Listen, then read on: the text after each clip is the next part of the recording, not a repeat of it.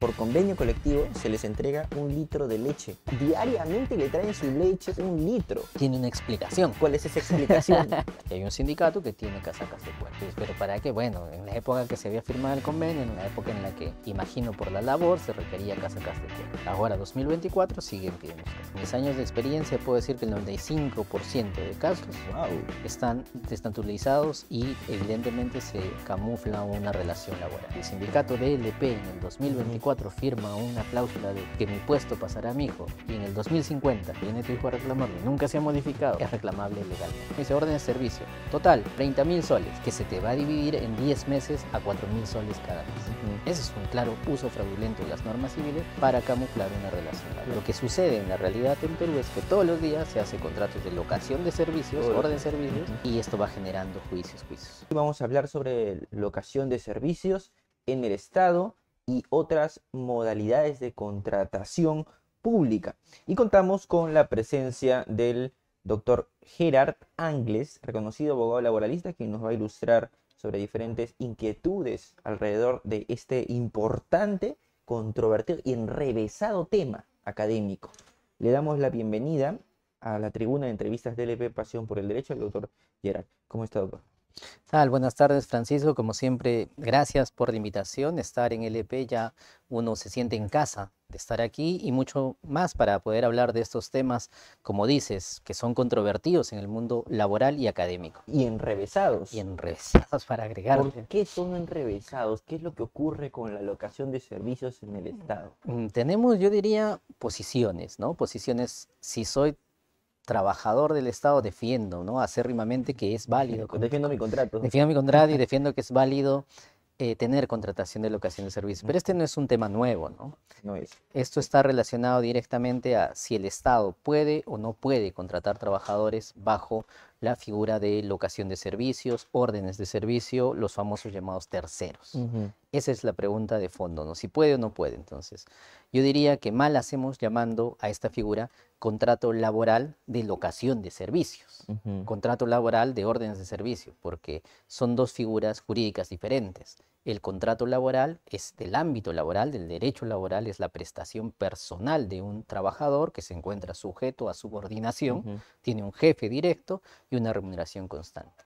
Y las órdenes de servicio, la locación de servicios son un contrato de naturaleza civil, son dos mundos diferentes, el laboral y el civil. desde, el, primer momento en el que a lo mejor en el Estado alguien le pone contrato laboral de locación de servicios, ya se desnaturalizó. Diríamos que, como dice, no lo digo yo, como lo dice la jurisprudencia y la doctrina, la contratación de personal bajo locación de servicios, orden de servicios, es un uso fraudulento de las normas del ámbito civil para mm. camuflar lo que en realidad es una relación laboral. Okay. Yo utilizo una norma civil camuflo lo que realmente para es. no darte beneficios. Para no darte beneficios, no darte la estabilidad, no reconocerte como trabajador. A pesar que esos locadores, esos son hacer, cumplen un horario, van de 8 a 5. Están sujetos a la subordinación. Claro. Y la subordinación no solo es un jefe, sino es el poder de dirección del empleador. Es decir, los fiscalizan, los sancionan, estructuran la organización de la entidad. Y por último, hacen la prestación personal y se les da una remuneración. Entonces, a lo largo de todos estos años, yo he visto, ¿no? Dice orden de servicio, total, 40 mil soles, que se te va a dividir en 10 meses a 4 mil soles cada mes. Ese es una clara, pues, un claro uso fraudulento de las normas civiles para camuflar una relación laboral. Claro, y, y es además también un uso irresponsable a lo mejor, porque el empleador sabe que si el locador demanda desnaturalización, a lo mejor van a tener que pasar muchos años para que alcance justicia y lo repongan o le, le reconozcan sus beneficios sociales y ya no va a este, estar la gestión en la que se encuentra, a lo mejor quien lo contrató, ¿no? ¿Eso ocurre? Eh, es, es, es gracioso, como lo dices, gracioso desde mi punto de vista porque le has dado, pues has atinado en lo que es la realidad, ¿no? En el derecho laboral existe lo que es la primacía de la realidad, mm. que es lo que pasa en la realidad que dista de los documentos. Entonces, lo que sucede en la realidad en Perú es que todos los días se hace contratos de locación de servicios, orden de servicios, y esto va generando juicios, juicios.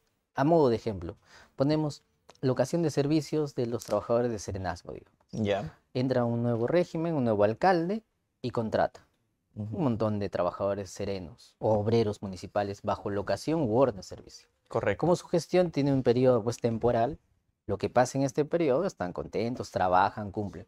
Se va el alcalde y todos esos trabajadores, o al menos una gran cantidad, demanda. Como ya no es un problema de la gestión actual, queda la siguiente. La siguiente todavía tiene el proceso judicial.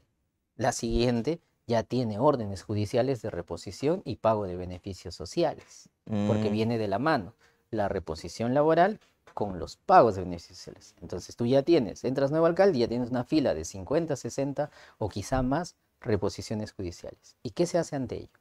¿De dónde sale el presupuesto, las plazas, sentencias que muchas veces pueden inejecutables y es un proceso larguísimo? Ese es un punto importante porque lo veníamos conversando fuera de cámaras. Son inejecutables ¿por qué? porque este locador demandó su reposición, el reconocimiento de sus beneficios sociales y se le da la razón. ¿no? Le da Se le da la razón. Naturalmente, porque tenía un horario, subordinación, poder de dirección, todo, todo eso. Pero ahora e- el segundo problema es a dónde lo reponemos. ¿A dónde lo reponemos? Porque su plaza ya está cubierta por otro sereno. Es decir, ¿Dónde? ¿Dónde vamos? Y es lo que te, te señalaba en el modo de ejemplo de los serenos, que también pasa en el sector de, de- de salud, de enfermeras, técnicos, médicos, que tienen los famosos terceros, ¿no? Que es la misma figura. Y eso es, ¿no? La entidad cuando se ve con las demandas le dice al juez, señor juez, uno, no tengo la plaza y no tengo el presupuesto. Y para ingresar a esta entidad, sea MINSA o de salud, tiene que haber concurso Ujú. público. Entonces se convierte pues en una gran bola de nieve. ¿Y qué están haciendo las entidades? Las entidades están tratando de solucionar este problema con un ingreso al ámbito público progresivo. Lo que hacen, te debo Claro. 50 mil soles. No te puedo pagar los 50 mil soles por cuestiones del Estado, pero es un trabajador. Imaginemos 30, Mm, ya no estamos hablando de 50, sino de millones. ¿Qué es lo que hacen? Progresivo. Este año se les paga con orden de prelación a los adultos mayores, madres gestantes, y con orden de prelación van ingresando a la carrera pública. Y eso es lo que se va dando a lo largo del Estado. Como bien señalas, fuera de cámaras decíamos, ¿qué es esto? Esto es una bola de nieve que cada día se hace más grande y más grande en nuestro Mm. Estado. Mientras sigamos contratando trabajadores bajo locación de servicios, vamos a seguir incrementando demandas de esta naturaleza. Y ahora, ¿cuál es el riesgo de contratar trabajadores no bajo el formato, el modelo de la locación, sino trabajadores realmente con todas sus, todos sus beneficios sociales? Yo no diría riesgo. Porque hay un desincentivo, dicho de otra forma. Sin, yo no diría riesgo, sino yo diría gestión. Aquí ya es un tema de gestión administrativa. Mm, El Estado se gestiona, los presupuestos se hacen ahora, estamos octubre, noviembre, se hacen los presupuestos estatales. Las entidades públicas tienen el deber de presupuestar todo ello. No lo hacen bien. N- No, no sé si lo llegan, hacen, llegan a fin de año y tampoco han, han gastado todo el presupuesto. en algunos no, en algunos han devuelto presupuesto. Eh, ya, Es una mala En- gestión, ¿no? Es una mal. En otros casos, por ejemplo, un caso particular de- del sector salud, en esta progresión de trabajadores que van pasando a distintos regímenes de estabilidad, por ejemplo, eh, sector salud, las trabajadoras que eran CAS, que eran este, locación de servicios, pasaron a ser estables, pasaron a 728 o a 276, y hay una progresividad. Si yo ingresé este año, por ejemplo, ingresé, ya soy estable este año, el siguiente año no me van a pagar mis beneficios completos, porque no hay presupuesto.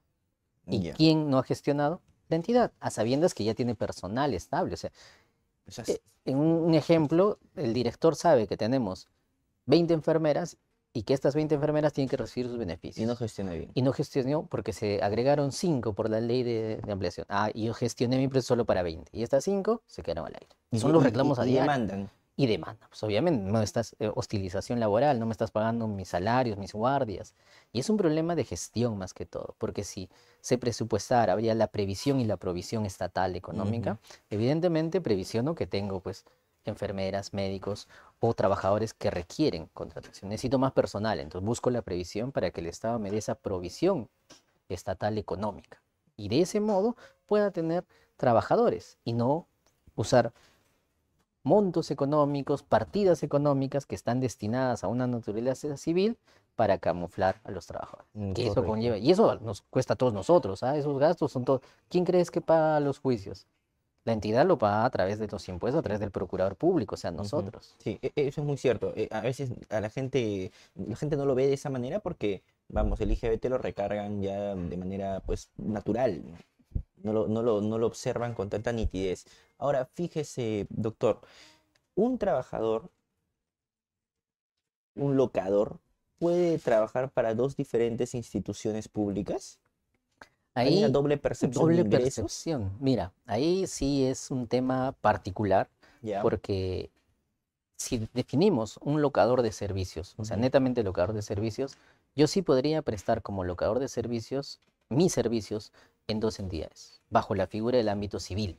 O Ya. sea, que no tengo un horario, que no tengo eh, un jefe, que no estoy subordinado, que no cumplo los tres elementos básicos de la relación laboral.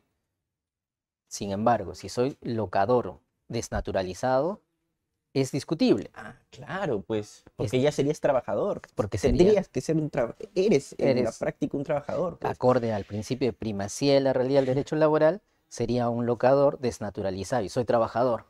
Y estaría haciendo trabajo a otro lado Sí. y ya sería doble percepción porque la ley dice que no puedes percibir remuneración, gratificación, emolumento, cualquier monto económico. Entonces, a nivel real, no podrías, pero a nivel legal, todavía no has desnaturalizado. Ya. Entonces, no podría. Sería un poco irreal que venga un empleador y te diga, tú eres trabajador de locación de servicios y no puedes estar en otro lado, por lo tanto te sanciono. No podría, porque legalmente, en papeles, todavía no soy trabajador. Pero acorde a la realidad, sí soy trabajador.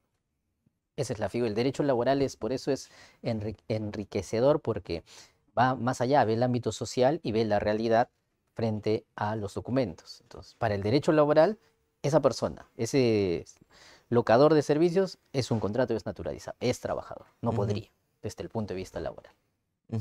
Correcto. ¿En, en qué situaciones se configuraría una doble percepción de ingresos? La doble percepción de ingresos está referida estrictamente para servidores públicos, para trabajadores. Entonces ahí ya, ya salimos del mundo de la locación, de la zona de servicio, los terceros, y ya nos adentramos a lo que sería el mundo del ámbito del vínculo laboral. Ujú, entidad y trabajador. O sea, aquí es un trabajador bajo algún régimen laboral del Estado, que puede ser el decreto- legislativo Ujú. 728, decreto legislativo 1057 o 276.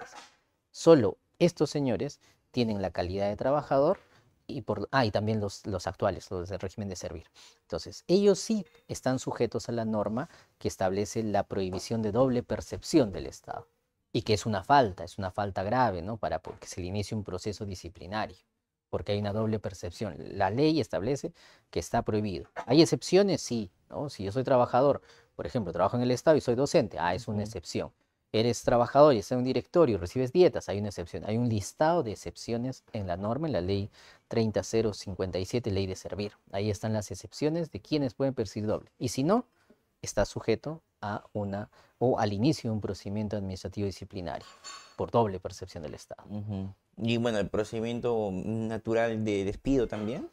En el- aquí, el sector privado, hay un procedimiento de despido. Aquí en el sector público. En el sector público es el procedimiento administrativo disciplinario, Correcto. que puede culminar Con la destitución. con la destitución, Ujú, puede culminar con una suspensión, una llamada de atención escrita o verbal. Bueno, la verbal es, no hay proceso, solo es escrita, suspensión y destitución. Suspensión con goce o, o sin goce. Sin goce, todas son sin goce. Sin Sí, goce. Recuerda que estamos ante una, un proceso disciplinario. Entonces yo te disciplino y te digo, te vas a tu casa sin goce, porque no sería disciplinario, te digo, te vas a tu casa con goce. ¿Qué te otros pago. aspectos problemáticos en torno a la locación de servicios existen eh, a la fecha en el Estado? La mayoría de, de problemas que se da es la desnaturalización de locación de servicios. Es, el- es el más grande.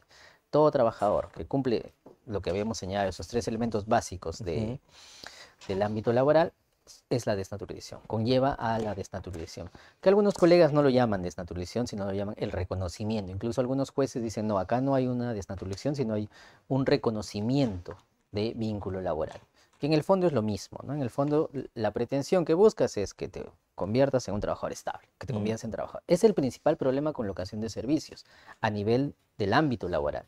A nivel económico, el principal problema para todos los contribuyentes y para las entidades y para los es que va- se le tiene que desembolsar sus beneficios sociales, sus vacaciones, gratificaciones, CTS, Y que si el locador, pongamos un ejemplo, que ha estado ocho años de locador, se le debe ocho años de vacaciones, ocho años de gratificación, y ese es un acumulado. Ese es el segundo Claro. problema, lo económico. ¿De dónde sale todo ese dinero para pagar a los trabajadores? No hay presupuesto. El trabajador, si es muy mayor y ya está en este problema, quizá no recibe ya sus herederos, herederos podrán recibir los montos que corresponden, si es que logra. Los juicios también demoran años. Es frecuente, es más frecuente de lo que uno se podría imaginar que el contrato de locación en el Estado esté desnaturalizado. ¿Es, es típico eso? Sí, yo de los, en, mis años de experiencia puedo decir que el 95% de casos están desnaturalizados y evidentemente se camufla una relación laboral. Porque basta, basta con que prestes la relación laboral, basta con que vayas y tengas un jefe. O sea, porque, y siempre preguntan, ¿no? ¿Y desde cuándo está desnaturalizado? Desde el primer día que pongo un pie en la entidad y hay un jefe que me está supervisando, fiscalizando y hay una administración, una fórmula de trabajo. Desde ese día está desnaturalizado. ¿no? A veces me dicen, se desnaturaliza al mes, a los tres meses. Mm. No, la desnaturalización de los contratos o el fraude de uso de normas civiles en el ámbito laboral se da desde el primer día que la persona que va a prestar los servicios cumple con los tres elementos básicos de la relación laboral subordinación, que es someterse al poder de dirección del empleador, el poder de dirección del empleador de fiscalizar, sancionar, dirigir, administrar la entidad. El segundo, de hacer una prestación personal, de ir en persona y hacer mi función personal. Y el tercero, que existe una contraprestación económica a cambio de eso, que se llama remuneración. Si cumples esos tres, en este caso el primero, desde el primer día, está desnaturalizado ese contrato. Y si el poder de dirección, las órdenes y todo ello no se emiten de manera escrita, sino de manera oral, ¿cómo pruebo eso? Casi todas las, las fórmulas del poder de dirección no solo se tienen que ver en el ámbito de la del poder de dirección de las órdenes. También puede ser a través de la fiscalización. Te han mandado un correo, un memorándum, señor, usted ha llegado tarde, no vuelva a llegar tarde, algún memorándum por si acaso, señores, el día martes no hay trabajo porque es feriado. Ya, esa es el poder de dirección. Señor, usted está sujeto en el área de LP Derecho, en el área legal. Ese es poder de dirección. No necesariamente vamos a en, encasillar al poder de dirección a las órdenes emitidas directamente por el empleador, sino el poder de dirección en sus distintos elementos. Quizá, como dices, en ese caso no se puede acreditar el poder de dirección, la subordinación referente al mandato, a la jerarquía entre empleador y trabajador, pero sí a los otros temas de administración, fiscalización, sanciones, un correo. Ahora incluso hasta los WhatsApp sirven. ¿ah? En un proceso judicial hemos utilizado los WhatsApp porque a través del WhatsApp el coordinador realizaba todas las acciones de coordinación, funciones con todo el grupo, con todo el área. Esa es una prueba de poder de dirección. Correcto. Vamos a revisar algunas preguntas que nuestro público ah, está formulando. Doctor, nos preguntan, un juez eventualmente podría rechazar la existencia de los beneficios sociales de un locador porque la norma expresamente impide que el Estado los contrate si no se cumplen determinados requisitos o tendrían que prevalecer sus derechos del locador desnaturalizado? Bueno, si la ley prohíbe la contratación del trabajador, evidentemente no hay fórmula, ¿no? Está prohibido pero si el trabajador comprueba de que hay una desnaturalización, un uso fraudulento, sí le corresponderían los beneficios sociales. Quizá el juez está razonando que no es trabajador y por lo tanto no le corresponden los beneficios sociales. Y ahora, con las negociaciones colectivas, que era un segundo tema que habíamos conversado, ah. que íbamos a desarrollar, ese me parece muy interesante porque de hecho uno en los convenios puede encontrar, vamos, se pide absolutamente todo. ¿Qué es lo más extravagante a lo mejor que he encontrado en algún convenio colectivo que ha podido revisar a la luz de sus años de experiencia, doctor? La, negociación colectiva, ya olvidando el otro tema, la negociación colectiva es un derecho constitucional que tiene reconocimiento nacional e internacional.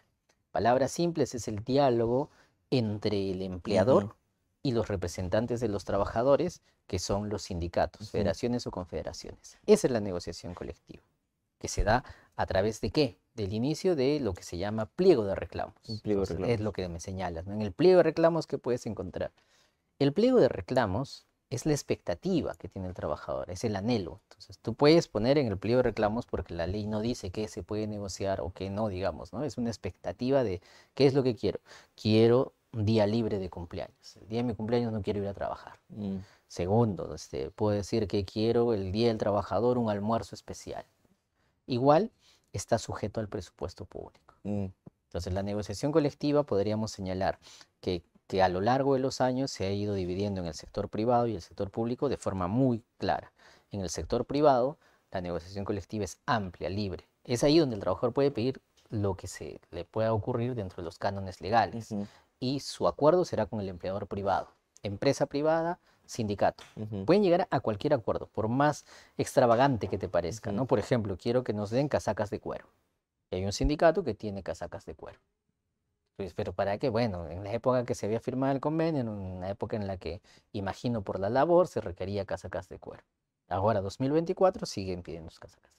¿E- ¿Eso es un caso real? claro, es un caso de la vida real ahora. Ah. ¿Cómo te otorgue la casa de cuero? Entonces tú te puedes imaginar una casaca de cuero al estilo Harley Davidson, ¿no? O también te puedes una casaca de cuero laboral. Entonces, si hay ese pedido. Puede ser un pedido de que la jornada laboral tiene 8 horas y los alimentos que todos consumimos están fuera de la jornada, los 45 minutos. Yo puedo pedir que estén dentro. Entonces, el sector privado tiene mayor amplitud para poder desarrollar las cláusulas y acordar cláusulas del convenio colectivo. ¿Y en el sector público? Y el sector público es otra cosa. Es como que el Estado, el Estado mire y dice, sector privado, ustedes pueden acordar lo que sea. Pueden Mm. darles lo que ustedes gusten, porque es sus montos económicos y es su presupuesto. Ya. En el sector público no es así. En el sector público la negociación colectiva data desde hace muchos años atrás que se ha venido dando restricciones y restricciones. Cuando el empleador es el Estado, y hay que decirlo, el empleador pues dice, no, no hay nada. Para ti, trabajador, no hay absolutamente nada. Y esto empezó en el año 2012-2013, donde salió una de las primeras leyes de presupuesto en la que decía, en la acorde a la norma, en los procesos de negociación colectiva del sector estatal no se puede otorgar incrementos salariales ni ninguna cláusula económica. Una prohibición expresa que se llevó a cabo a través, que se, que se cuestionó a través de un proceso de inconstitucionalidad por el 2015, ya, ya en el- con el profesor Neves, el Merar, se fuimos a Arequipa, hicimos un, se hizo la defensa de por qué era inconstitucional. El Tribunal Constitucional de- declaró inconstitucional de que en el sector estatal la negociación colectiva solo se parametre a cuestiones no económicas. Correcto. Todos los años el Estado hace, sacaba una ley de presupuesto y todos los años iban... Entonces, ¿cómo solucionas el proceso de negociación colectiva del sector estatal? Hacían los sindicatos del Estado su proceso de negociación, llegaban a un punto muerto y tenían que recurrir a un proceso arbitral, a un arbitraje laboral. Y en el arbitraje laboral, los árbitros inaplicaban las leyes de presupuesto o las prohibiciones económicas a través del control difuso. Ellos decían, hay un control, esto es inconstitucional, por lo tanto no aplicamos las normas del Estado. Y les otorgaban los beneficios e incrementos económicos. Para recapitular, el pliego de reclamos es lo que pido. Lo que El solicito. pliego El convenio, Es el resultado de todos los acuerdos. En el pliego pido correcto. 50, en el pliego pido 50 cláusulas. ujú, Avanzo, avanzo en las discusiones, en las etapas, trato directo, conciliación, avanzo y llego con 10 o 15. Y eso se plasma en un Claro. convenio colectivo. Fíjese, yo sí he, he logrado identificar un requerimiento en convenio colectivo extravagante en el. Estado.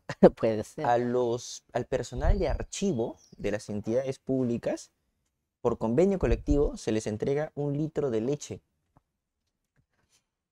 Tiene una explicación. Ya. ¿Y ¿Cuál es esa explicación? Diariamente le traen su leche un litro.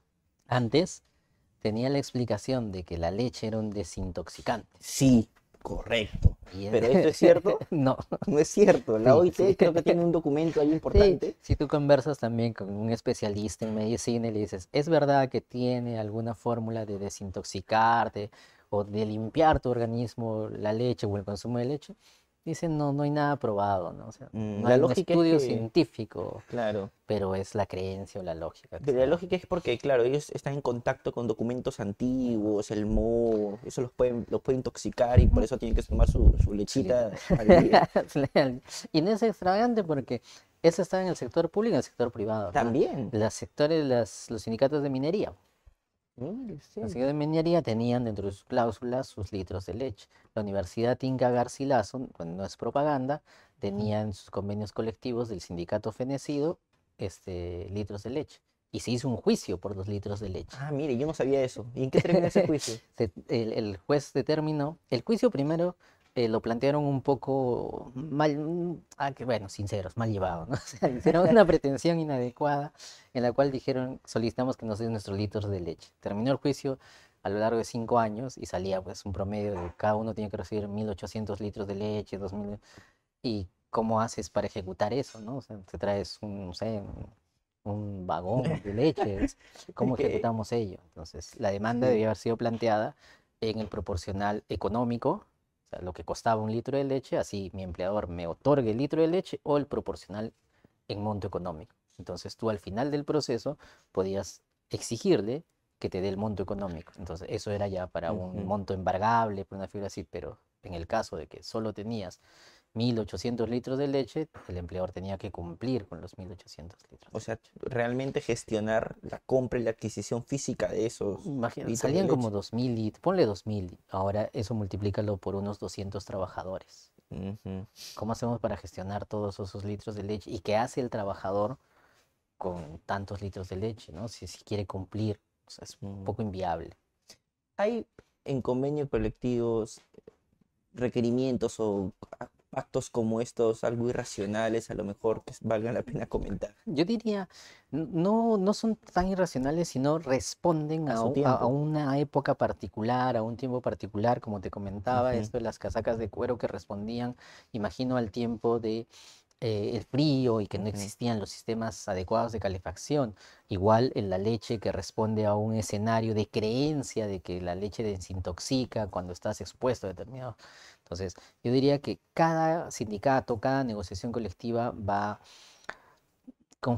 transformando sus pedidos, mejorándolos o adecuándolos, porque en verdad cada sindicato es un mundo diferente. Muchas veces confundimos y creen de que eh, incluso algunos colegas o los empleadores creen que todos los sindicatos son iguales. No, no hay un machote, no hay un plano de pliego de reclamos, porque la realidad de uno no es la realidad del otro. Y cuando hay un sindicato mayoritario y uno minoritario. Uh, ese es uh, un tema amplísimo para discutir.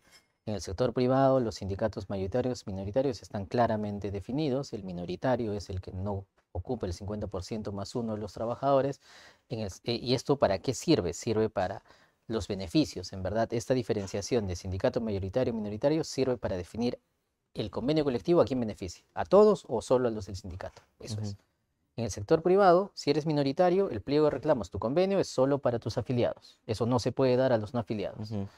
En el sector estatal, como te comentaba, i- ha ido evolucionando las normas del derecho de negociación colectiva y ha pasado de una evolución, de una negativa, negativa de no, no otorgar condiciones económicas, a emitirse la ley 31188, ley de negociación colectiva del Estado, donde dice, los sindicatos pueden pedir y el Estado puede establecer cláusulas económicas y no económicas. Y dentro de esto sale luego unos lineamientos de servir y hace lo- la diferencia que tú señalas, ¿no? Sindicato mayoritario, minoritario. Usa las mismas reglas del privado. La diferencia que en el sector estatal es lo que obtenga el sindicato minoritario es para todos los trabajadores. Lo que dice la misma ley, ¿no? Claro. En el sector estatal hay dos niveles de negociación, negociación colectiva centralizada y descentralizada. En el nivel de negociación colectiva centralizada negocian las grandes confederaciones del Perú, ¿no? Las agrupaciones de CTP, CGTP, todas estas negocian por el ámbito de todos los trabajadores a nivel nacional, de todos los regímenes laborales, 276, 728, 1057. Ellos negocian por todos. Y después viene la negociación descentralizada, que ya es ámbito local. Ejemplo, ¿no? El sindicato del SAT, la Defensoría del Pueblo, la forma de entidad. Y los beneficios que obtenga el sindicato, que esté ahí, o los sindicatos, son para todos los trabajadores, afiliados o no afiliados. Ujú. Un tanto que en el sector estatal se ha difuminado la figura de representación si eres mayoritario o minoritario. Porque los efectos del convenio colectivo son para todos. En el privado todavía se mantiene. Ahora, en el convenio colectivo se puede consignar algún apartado en donde se precise que los puestos de trabajo son heredables. No, no se puede, ¿no? Porque eh, está delimitado en las normas de que el Estado tiene, es parte de su poder de dirección de administración y también está prohibido por ley porque es- la ley establece que no puedes tú establecer condiciones que estén referidas a la administración del Estado. Entonces, yo darle un puesto estable a tus herederos es pues estás trastocando, ¿no? el presupuesto, estás tocando incluso contraviene la discriminación, Sí. este, la discriminación personal y todo esto. todo ello. Pero en el sector privado ¿Sí? existía. Ya no existe, pero Se lo existía. pregunto porque hay una casación que resolvió la Corte Suprema y que ha sido publicada en lpderecho.p sobre ese tema en concreto. Supongo que mm, Sí, de hecho, titula Convenios colectivo acordó contratar hijos eh, de trabajadores fallecidos jubilados. Sí, sí. Esto es re- realmente ocurrido, pero me decía usted que en el Sí sector ocurre. O sea, privado. como te digo, esta es una cláusula. Recuerda que los sindicatos no vienen de, de ahora, ¿no? No son sindicatos de los 90, del 2000, sino el sindicalismo viene desde mucho más. Desde, podríamos irnos en Perú, a lo menos, hasta 1900, ¿no? Hasta 1910, en la creación de las grandes confederaciones. Y en aquella época el sindicalismo tenía esta figura de proteger a los trabajadores ya. y tenían convenios que establecían efectivamente que el puesto del trabajador jubilado será otorgado o habrá una preferencia al hijo. O sea, el hijo podría ocupar ese puesto. Son Cuando cláusulas fallezca, este- cuando fallezca o cuando se jubile, cuando se jubile. cuando deje de tener vínculo o alguna enfermedad profesional. O sea, deja de tener vínculo laboral y mi puesto pasa a mi familiar, que puede ser. Esas cláusulas existen, o sea, no es una cláusula extrambótica. extra- Yo, por eso te digo, son cláusulas que responden a los tiempos y la época. Ya no he visto yo esas cláusulas, al menos en estos últimos 10 años, 15 años de labor, no he visto esas cláusulas, pero sí estudiando convenios colectivos pasados podemos encontrar este tipo de cláusulas. Y que pueden surgir, o que podamos verlas, digamos, hoy 2024, es por una pequeña particularidad que ponen. Los convenios colectivos, tú puedes firmar cláusulas de dos, natural, de dos naturaleza, naturaleza temporal o permanente. Si es temporal, esa es la vigencia del convenio. Si el convenio es de un año, todas las cláusulas mueren al año. Si es de dos años, mueren a los dos años. Pero si le pones la palabrita cláusula permanente, esa cláusula no fenece en el tiempo hasta que sea Mm. modificada por un convenio colectivo.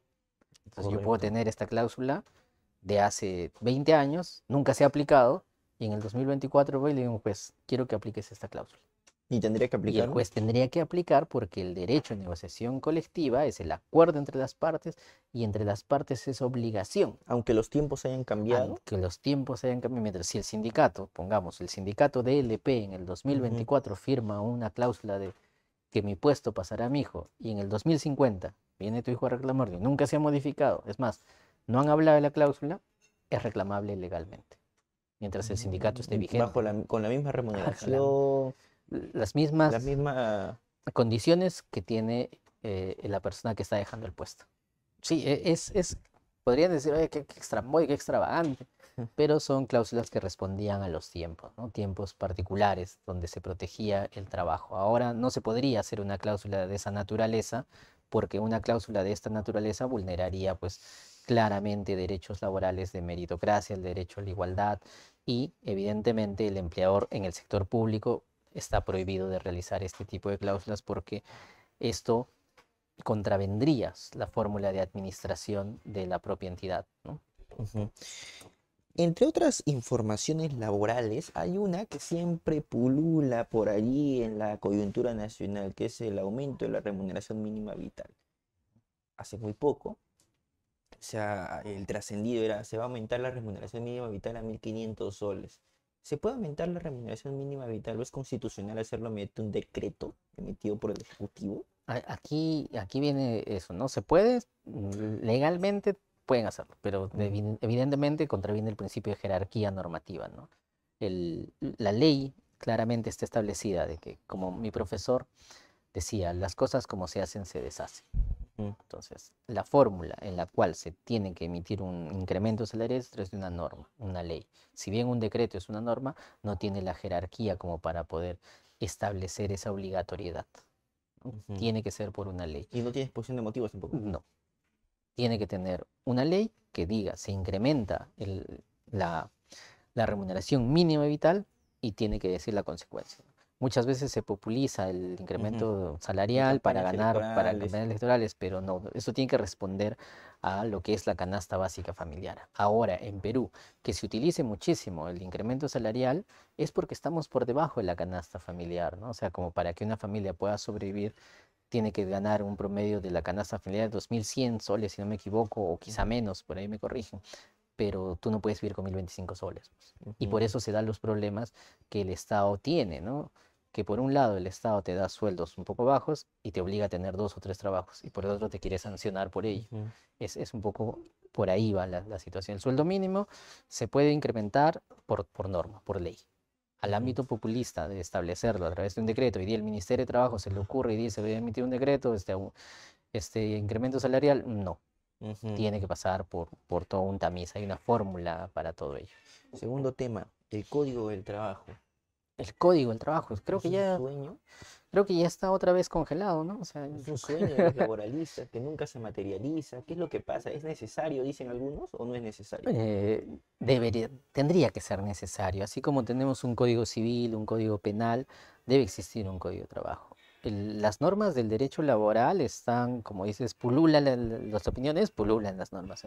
Sí. Tú quieres saber, por ejemplo, ¿dónde dice que se debe pagar las horas extras? Ah, debe estar pues en la fórmula del decreto del 728. No, no, las horas están en otro, en el 713. Las vacaciones están en otra norma y una más antigua que la otra. O salió una, no- es todo un cambalache, normas por todo lado.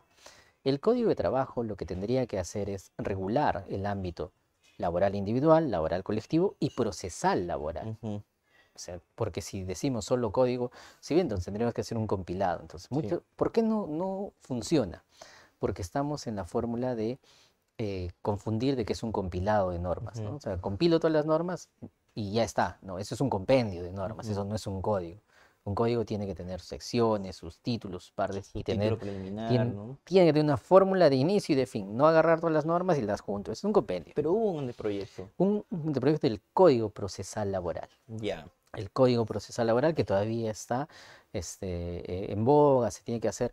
Yo creo que es necesario hacer un nuevo Código Procesal Laboral y reformular algunas de las fórmulas de los procesos judiciales. ¿no? Que a la fecha iniciaron la Ley 29497, que es la actual norma procesal, que a comparación de su norma antigua, la 26636, venía con una figura de decir procesos ágiles, orales, rápidos, tu juicio no debe demorar. Yo disfruté de esos inicios de la ley 29497, donde iniciamos con la ley por el 2010, 11, 12, iba a un juicio y el juicio terminaba en dos o tres meses. Entonces tú dices, esto es la maravilla, estamos en Mm. Suiza. ¿Y qué es lo que ha pasado? en Ahora inicio mi juicio y me programan mi audiencia para el 2026, o sea, de acá dos años, ya no dos meses. ¿Qué es lo que ha sucedido? Que si bien es cierto, la nueva ley procesal laboral es muy ágil, es muy buena, se ha atiborrado de, de la cantidad de juicios. Si el juicio igual demora según las etapas, es ágil. El problema es las audiencias. Por ejemplo, ahí del nuevo código procesal debería de modificar algunas acciones de la realidad, porque la conciliación en un proceso ordinario es prácticamente figurativa, es una audiencia donde nadie concilia. Entonces, ¿para qué tener un proceso Sí. donde me vas a decir tu conciliación es el 30 de enero, vas y las partes dicen, no, no conciliamos, nunca concilian. Yo he hecho un análisis, el 90% concilia. Y te vas. Tu siguiente audiencia, señor, es el 30 de enero del 2026, o sea, un año para esperar un juicio. Cuando podría agilizarse en una sola audiencia, vas, no concilias, pasa a juicio y se agota inmediatamente. Porque el juicio laboral es oral, todo es oral. Entonces, eso agiliza el proceso. Correcto. Mencionaba hace un momento de que conoció usted al profesor Javier Mujica. Javier Neves, ¿Fue el su profesor. maestro? No, no, no, no tuve la, la ¿Trabajó dicha. con él? Trabajamos, eh, yo para esa época trabajaba en la Confederación General de Trabajadores y llegamos pues a trabajar algunos temas como la inconstitucionalidad de la ley de presupuesto. Ujú. Luego dábamos talleres conjuntamente en la, en la universidad que él dictaba, que era la, la católica, la PUC, y dictábamos y ahí llegué a conocerlo. Han viajado juntos. Eh, a- ese juicio fue a raíz de que los sindicatos contrataron a determinadas, determinados abogados. Por ejemplo, a él lo contrató, eh, no recuerdo si era un una federación del Callao, al profesor claro. Elmer Arce lo contrató la SUNAT y yo iba por la CGTP. Entonces, Ya. yo, yo era un joven, pues no tuve la dicha de, estar entre ellos, ellos unos monstruos del derecho laboral y yo ni idea tenía, recién empezábamos, pero tuve la suerte y empecé a conocer el mundo del derecho ¿Y, y laboral. qué recuerda el profesor Hernández Mujica? Se lo pregunto porque muchos alumnos de- del Perú entero lo tienen en la cabeza, pero no van a poder disfrutar sus clases. Oh. ¿Cómo era el profesor Mire, Mujica? Cuando, cuando íbamos y dictábamos, era muy teórico en algunos temas y muy práctico en otros. Ahora, lo, yo podría decir que lo más práctico él era que tenía el conocimiento aquí. Yo creo que, que eso es lo práctico, o sea, que, que si hablamos de lo que estamos hablando, él ya tenía la jurisprudencia y la doctrina del autor ¿En la y es- cabeza? en la cabeza. o sea, y eso creo que es fruto del estudio constante que tenía. Entonces tú conversabas de negociación colectiva y decías, pero un momento Gerard, vamos a ver este tema que lo ha escrito tal persona, déjame ver, lo ha escrito acá. Pero también hay una jurisprudencia que dice tal cosa. Y de lo que conversábamos hace un segundo, los sindicatos de leche nos hubiera sacado 10 convenios Mm. diciendo, ah, no, mira, no es el único caso, acá hay 10. Y Javier, el profesor Javier Hernández Mujica hubiese sacado 10 convenios. de, de donde hay cuestiones de leche y cosas un poquito más extrambóticas, porque era su trabajo, ¿no? Y yo diría que su, su legado ha sido de ser bien claro y puntual. Definir de que existe derecho de los trabajadores y que el Perú está un poco a veces mal dirigido en que los abogados tienen que ser o pro trabajador o pro empleador. Y que a veces confundimos que el ser pro empleador es vulnerar derechos laborales. Eso, lo que más recuerdo de él era eso que decía, de que los abogados estamos divididos en pro trabajador y pro empleador. Y tú tenías que escoger en qué lado quieres estar. Y él se definía bien claro, estaba en el ámbito de los pro trabajadores para defender los derechos laborales. Y es lo que nosotros venimos haciendo, ¿no? O sea, desde aquí seguimos en esa línea de defender derechos de los trabajadores. Mm. Bien, me da gusto que se defina usted también, porque hay quienes no, no lo hacen, ¿no? No, sí, yo, prefieren no definirse. Mm, Yo, por definirme, por decir que defendemos derechos laborales y, trabajamos con trabajadores, con sindicatos, he tenido recusaciones a nivel de tribunal arbitral, de parcialización, todo porque, Ah, sí. porque es el, es, es el camino que tú elegiste, ¿no? O sea, como te digo, a veces se mal confunde y dice, ah, como tú eres del sindicato, defiendes los sindicatos, ya tienes una posición. No, yo defiendo derechos. Que el otro lado, los, los abogados de las empresas, te califiquen como tal, ya es pues un error, ¿no? Porque yo defiendo derechos, yo he tenido demandas de sindicatos contra sindicatos, de federaciones contra afiliados. Mm, Y no por el hecho de que sea la federación, yo no voy en contra de la federación. Defendemos derechos laborales, independientemente de quién venga. Si el empleador es quien los vulnera, bueno, Claro. defenderemos contra el empleador. Si la federación es la federación. ¿Y qué responde cuando alguien le recu- lo recusa? Es todo un proceso, ¿no? Eh, En una experiencia tuvimos un proceso arbitral. Yo, era árbitro del sindicato recusa por eso, y me recusaron porque no era objetivamente o que mi opinión ya estaba parcializada. ¿Por qué? Porque yo trabajo con trabajadores, porque hacemos la defensa del sindicato. Dice, ah, como tú trabajas con trabajadores ya tienes una opinión. Pero no es así, ¿no? Es como decir, tú das noticias y como tú ya das noticias, no puedes dar una opinión de noticias, porque tú trabajas con noticias.